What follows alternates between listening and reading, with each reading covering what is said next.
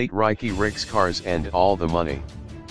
Late SA hip-hop star, Riky Rick's baby mama and partner, Bianca Naidoo has taken the Johannesburg Master of the High Court and Home Affairs Minister Aaron Motsoaledi to court to be recognized as his wife and executor of his estate as the rapper died in February without a will.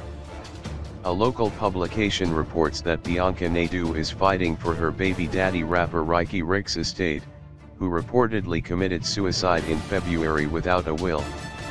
It is reported that she's taken the Home Affairs Minister Aaron Motsoaledi to court to force them to recognize her as the artist's wife.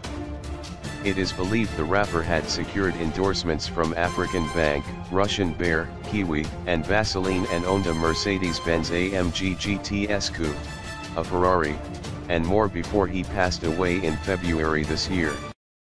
The award-winning rapper also generated millions of rand in royalties, according to the publication. According to the mother of two's application, she and the rapper were partners in a permanent opposite S.E.X life partnership, with the same or similar characteristics as a marriage after hitting it off on May 26, 2013. At the time of my acceptance of a relationship with the deceased, I lived with my first daughter, who was born out of a previous failed marriage.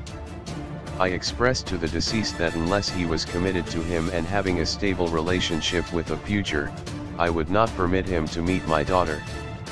The deceased expressed that he wanted a long-lasting future with me, and we began living together with my daughter as a family during the same year of 2013 at my residential property bought for me by my parents in Bryanston Gauteng. Naidoo will be appointed executor and beneficiary of Riky's estate if she and her lawyers win the case. The businesswoman adds that she and the late rapper established a financial interdependence because she performed all the administrative tasks related to the rapper before his death.